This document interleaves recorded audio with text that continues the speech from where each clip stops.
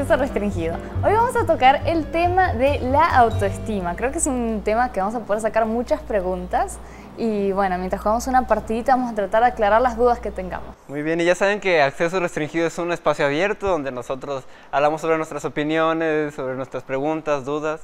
Y para eso tenemos aquí a dos invitados especiales. Voy a presentar primero a psicóloga, psicóloga educativa Miriam Tineo. Gracias. Y Mar Molina, que estudia la prepa en el área de sociales, ¿no? Sí.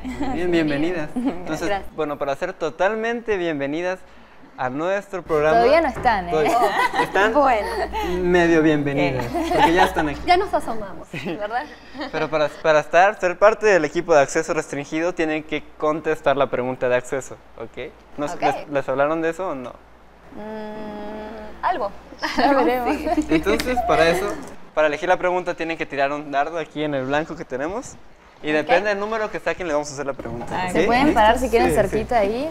Yo los hago espacio luego. Ay, pero Jorge, saca gracias. eso que están... No quiero salir herido. Ajá. Bien. Bien. Ay, se cayó. ¿Cuenta o no cuenta? Va, a ver. Fue números. Ah, la nueve. La nueve. A ver, ¿qué me ¿Esa es van la a preguntar? Bueno, entonces, Mar, sos... ¿Cuál fue? Seis. ¿Seis? Ok. La número seis dice, nos vas a tener que contar tu peor oso. Oh. bueno, pues el peor oso que hice, pues, para, para, para nada, este, pues salí así corriendo y estaba lloviendo en, la- en una lavandería.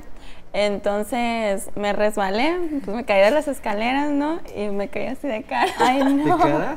Sí, así, Ay, pues, no. totalmente acostada. ¿Qué número de Ni para poner las manos. Y entonces, pues, como no había nadie afuera, pues yo bien tranquila me levanté, me limpié el agua, me sacudí. Y en- por la, había una ventana y todos estaban riendo y yo así, Ay, no. Yo, pero ¿por qué no oso? Está bueno. ok, y Bienvenida. entonces, el siguiente cuál fue? Nueve, ¿verdad? Miriam, ¿cuál era tu canción favorita de tu adolescencia? Pero no solo cuál era, tenés que cantarla, un pedacito. Ok. Bueno, pues tenía muchas, pero bueno, la que me acuerdo mucho y es muy especial porque, bueno, con el que me pretendía se llamaba Luis, así es que la canción se llamaba Luis de Franco de Vita. Bueno, ¿les canto un pedacito? Sí, a ver.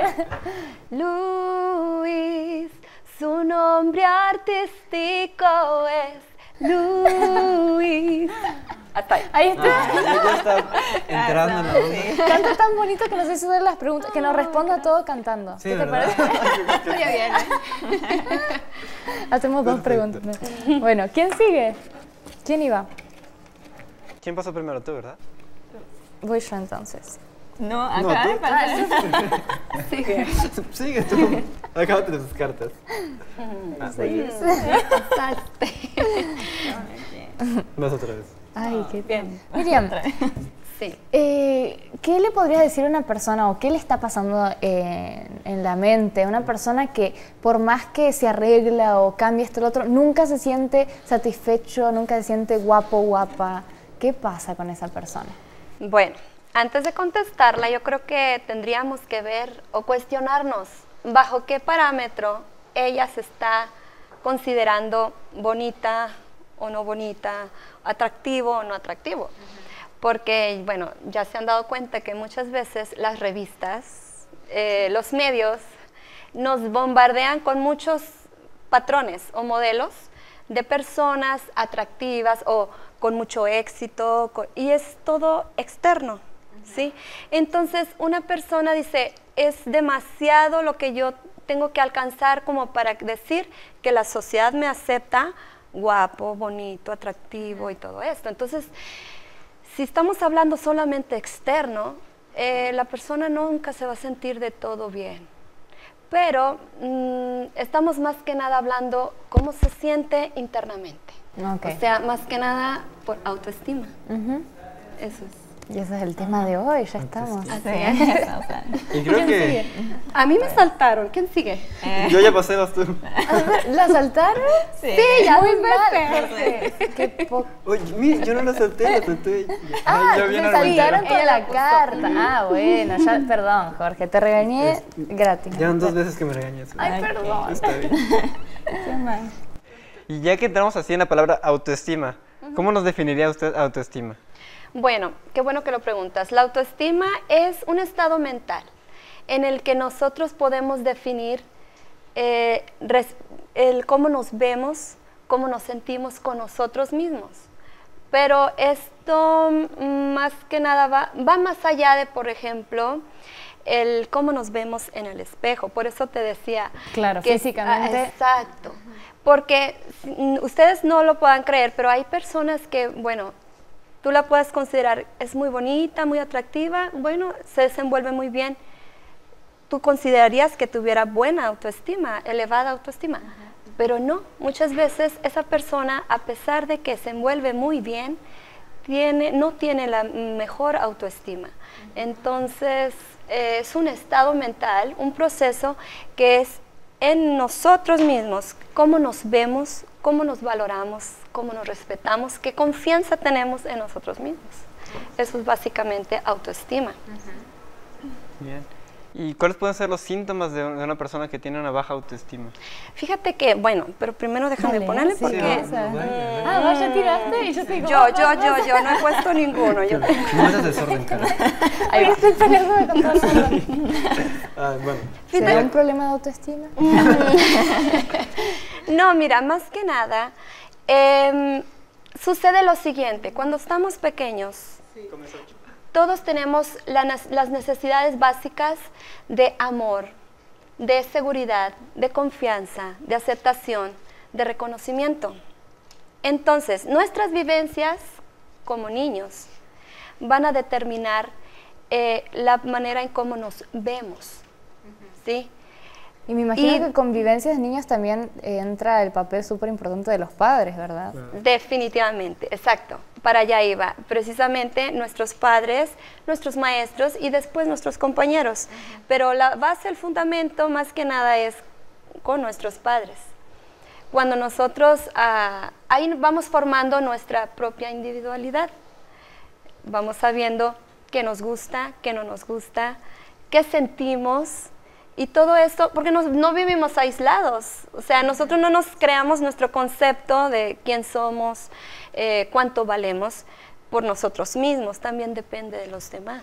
Entonces, bueno, contestando tu pregunta, a ver quién va. No, ¿va usted? Contestando tu Bien. pregunta, ¿quién? ¿Quién va? Ya, ok. Contestando tu pregunta, las- los síntomas, ¿sabes que yo le- les, les diría que son indicadores más que síntomas? Porque, bueno, síntomas nos suena como que enfermedad. Enfermedad, y no, no es enfermedad, sino que son indicadores que nos da más o menos la orientación de lo que es alguien con baja autoestima.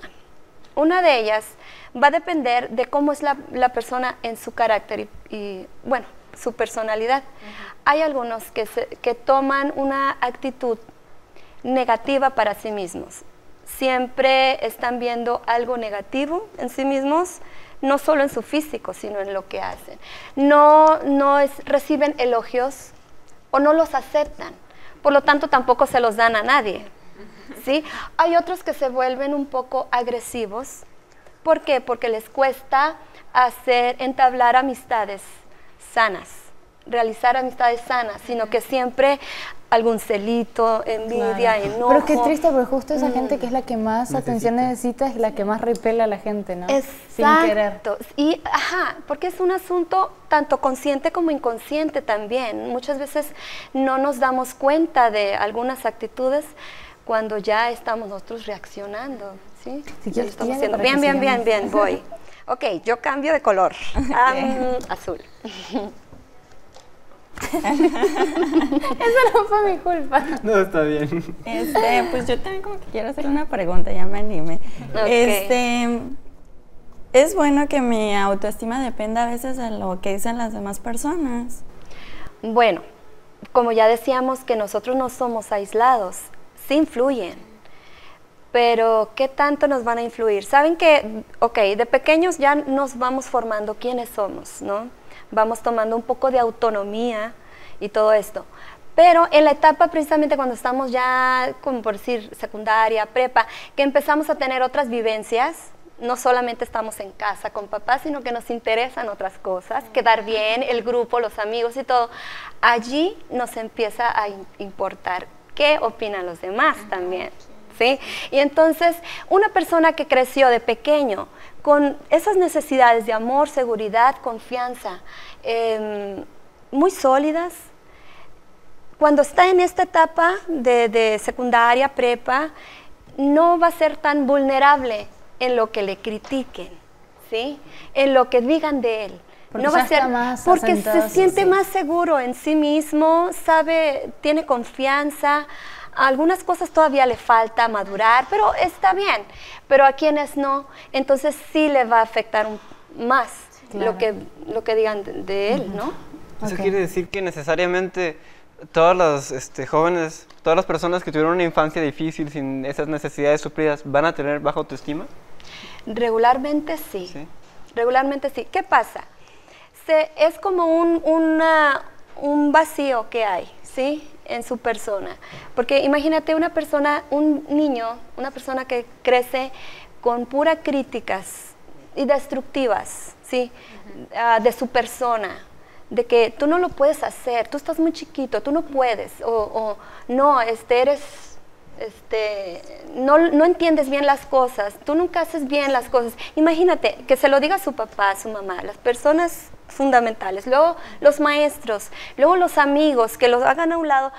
Definitivamente esta persona, su autoconcepto, o sea, quién soy yo y su autovaloración, qué tanto me siento bien conmigo mismo, se va a ver afectado y su autoestima se va a ver abajo. Claro. Bueno, Bien. seguimos jugando. ¿Les parece si damos una pausa cortita y volvemos con el tema de la autoestima aquí en Acceso Restringido? Y sigue usted, ya le he visto los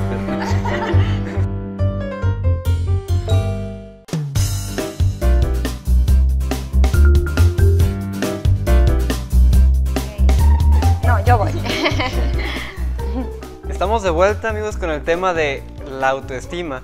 Y justo estamos aquí, seguimos jugando, vamos más o menos. Creo, que que vamos ganando ganando. nosotros. Mm, los cuatro a ti. Así que Tres. retomamos el tema de la autoestima y Miriam, ¿cuán favorable te parece para una persona que se critique a sí misma? Sabes que más que nada, si lo vemos desde el punto de vista de analizarse a sí mismo, no es malo. ¿Por qué? Porque ahí tú puedes estar viendo qué me funcionó, qué no me funcionó, qué puedo cambiar de mi carácter o qué es lo que me gusta de mí mismo y qué no. Pero cuando le añadimos a ese análisis de sí mismo algo, pensamiento negativo, autodestructivo, mm, ya no está ayudando tanto. Entonces ya no estás tú tomando como una autoestima elevada. Claro, pero dijiste analizarse y me parece distinto que criticarse. Exacto. Pero criticarse un poquito está bien, ¿no? Porque Sí, el sí. mismo compararte te va a poner en una posición y tenés que evaluarte. ¿o no? Exacto, y sobre todo, bueno, en una manera crítica, constructiva, positiva, el que te ayude a algo, a mejorar algo más, ¿no? Con ese propósito. Con ese por propósito. supuesto, a veces es necesario que uno se examine, ¿no? Y se haga una Exacto. crítica para mejorar. Ujú. Pero eso puede llegar a sus extremos, supongo. Sí, sí, claro, como todo, ningún extremo. ¿Quién sigue? Es- Ujú. yo. Es- Ah, usted. Yo. Sí. Este, mm, una pregunta. ¿Tener una autoestima elevada es malo? Mm, No es malo en sí mismo mm, y yo te puedo decir que es necesario. ¿Sí? ¿Por qué? Porque, mira, para poder verlo más claro, les voy a decir que no es autoestima. La autoestima no es arrogancia, no es eh, egocentrismo, no es superioridad. Yo quiero agregar algo a eso. Sí, es que a veces decimos, no, es que tener una autoestima alta, pero justamente la gente que actúa como con autoestima alta, que es arrogancia, etcétera, es justamente porque no tiene autoestima, Es- ¿verdad? Exactamente. Entonces confundimos. Eso es el punto. Entonces, una autoestima elevada no es arrogancia ni superioridad. Es más que nada el tener una actitud y pensamiento positivo de lo que valgo yo, ¿sí? Como persona, de quién soy, y el, porque así me permito hacer responsable de mis sentimientos, de mis deseos, de mis intereses, ¿sí? Pero de una manera positiva. Sí. ¿Y cómo podemos construir esa autoestima? ¿Cómo podemos saber dónde estamos en, en el nivel de autoestima? ¿Cómo poderlo medir? Claro, ¿cómo saber si tengo una buena autoestima o no? Ok, mira, más que nada esto te va a llevar a tú precisamente analizarte y ver, ok, en tus relaciones con las personas, eh, qué tanto valor le das a una persona y qué es lo que eh, y qué es lo que te estás fijando de ella. Ustedes han escuchado eso de belleza interior, sí, más o menos, sí les suena algo, ¿verdad? Ok, bueno, belleza interior es más que nada no fijarse tanto en el físico, sino su persona, cómo es, si es cálida, sincera, eh, ¿sí?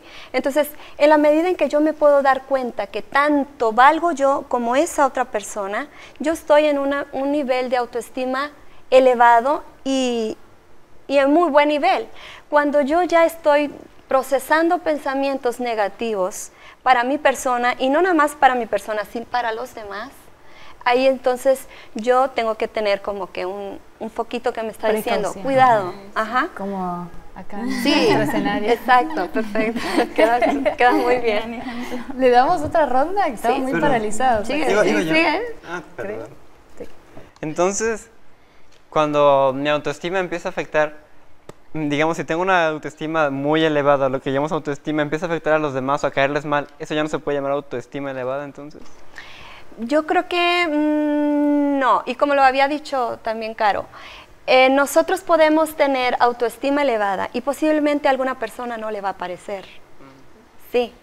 ¿Por qué? Porque también interfiere lo que la otra persona cree de sí mismo y, y, no tolera de los demás. Si ya sabemos que alguien que tiene baja autoestima ¿Yo sigo? Sí. Alguien que tiene baja autoestima no le va a parecer los logros de los demás, como tampoco recibe los de él, ¿sí? O le cuesta recibir logros de él. Entonces, una persona... Uno. Puede caer... Oh, oh. Sí. Siguen. ¿Qué color es tu tarjeta? No lo sé.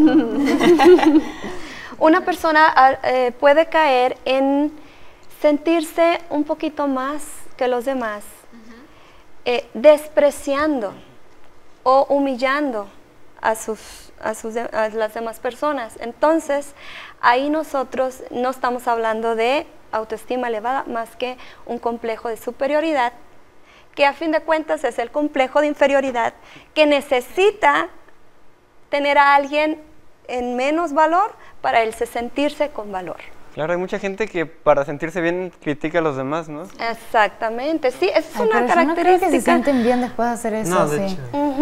No.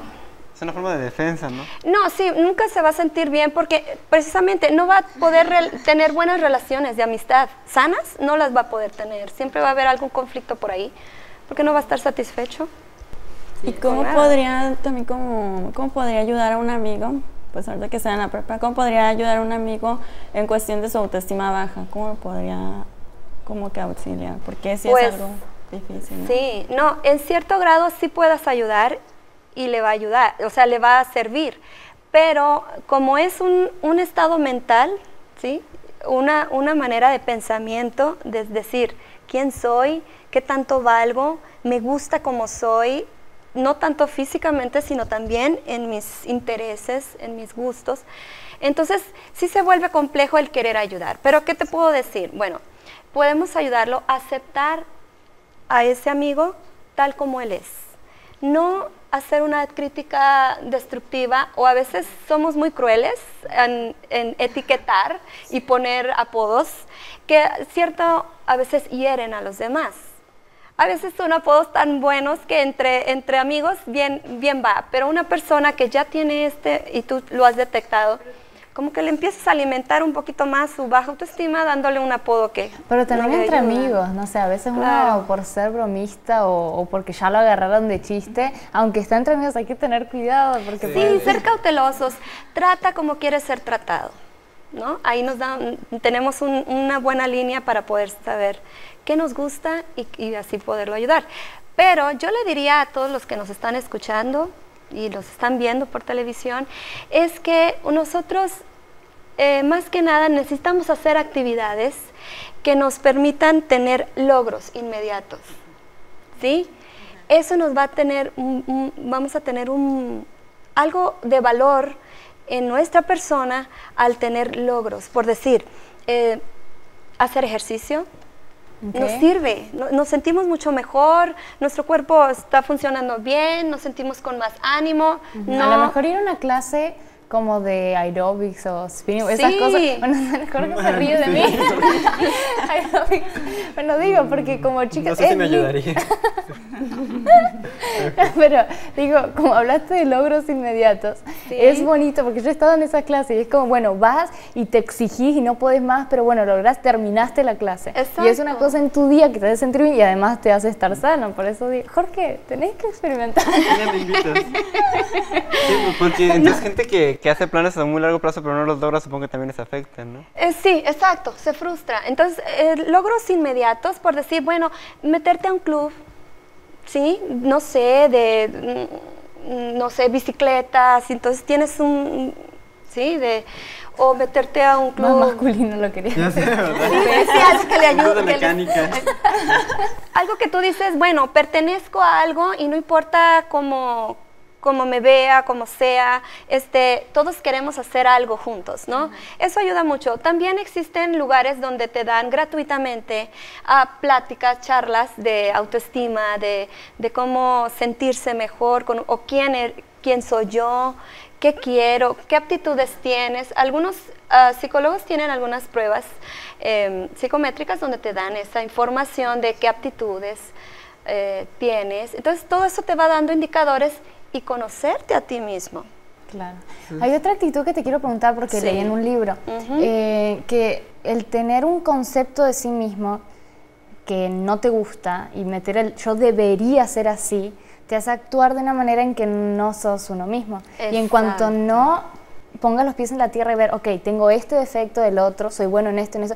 En cuanto no te conozcas y te aceptes como sos, nunca vas a poder trabajar en tu autoestima correctamente. ¿Es cierto eso? Sí, sí tiene mucho que ver, porque entonces nosotros nos hacemos un ideal, ¿sí? De quién quiero yo parecer o ser. Cuando no nos estamos nosotros enfocando a qué, qué es de lo que tengo qué es lo, mejor que puedo sacar de lo que tengo. Porque como te decía cuando empezamos el programa, eh, la sociedad nos da como que parámetros y lineamientos a veces muy elevados eh, de cómo es una persona exitosa o con mucho, este, con muchas amistades y a veces queremos como que de llegar a ese nivel, decir, ay, a mí me interesaría ser así y yo no estoy conforme en cómo me veo ahorita porque no, no puedo llegar ahí. Entonces, si supieran toda la edición que le hacen a esa foto.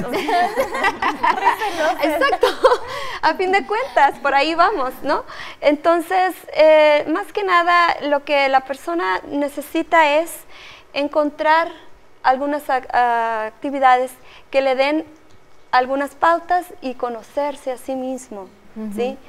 conocerse, darse el valor. y como para ir acabando, para ir redondeando. Dime, tenemos tres minutitos, dos minutitos.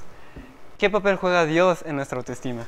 Mm, qué bueno que lo preguntaste. wow, eso es clave. ¿Sabes qué? Precisamente tenemos un versículo. A ver, a ver, va, va, va. No, diga, dígalo, Ok. Tenemos un versículo de Juan 3:16 porque de tal manera amó Dios al mundo, que ha dado a su Hijo unigénito para que todo en el que cree no se pierda, mas tenga vida eterna. Tú te puedes imaginar que si aún tú hubieras sido la única persona que hubieras pecado en este mundo, tú, tú puedes imaginar que Dios aún por ti hubiera dado a Cristo para morir por tus pecados. Imagínate cuánto valor Dios nos da el, que Él nos haya creado y aún así nos haya llamado hijos suyos. ¿sí? Entonces, él, el, que nosotros podamos ser conscientes de eso nos va a ayudar mucho en nuestra manera como nos vemos. ¿Sí? Nos va a ayudar mucho en nuestra manera como que vemos a los demás, porque esto no nada más tiene que ver con nosotros, sino cómo nos relacionamos con los demás. Y a lo mejor no me parece a mí, ¿no? No solo lo que hizo, sino lo que puede hacer y está haciendo, ¿viste? La, la relación que puedes llegar a tener con Dios te puede enriquecer muchísimo como tu estima y, el valor que te da y los detalles que te da Dios en una relación así, supongo que también deben ayudar un montón, ¿no? Definitivamente. De hecho, Dios, oh, oh, otra vez, mira. Estoy... De hecho, cuando uno tiene ese esa eh, concepto en tu mente de que Jesús, Dios no te ve como tú te ves. Dios te ve más allá y Él sabe todo lo que tú puedes llegar a ser en la medida de que le permites ponerte en sus manos. ¿sí? Y Él puede hacer un instrumento, así como somos, y Él nos transforma y nos hace mejores personas. Entonces, aquí como cristianos, como jóvenes, podemos tener eso en mente y yo creo que no, en nuestra vida va a ser plena, buenas relaciones y con una autoestima elevada, la que debe ser, positiva. Creo que quedamos con una conclusión muy bonita. Y entonces, si Dios nos tiene en esa consideración, debemos tener así en esa consideración a todos, ¿no? Eso cambia nuestra visión completa de la autoestima. Y yo creo que, amigos, tenemos una respuesta muy clara de lo que es la autoestima. Y si buscamos a Dios, Él nos puede enseñar el verdadero valor que tenemos y el valor que debemos tener para los demás. Entonces, ya saben, Acceso Restringido es un lugar donde nosotros les damos las herramientas y ustedes hacen sus propias decisiones. Nos vemos en el próximo programa y que tengan una buena tarde, día, noche, lo que estén. Nos vemos y hasta la vista. Bueno, gana.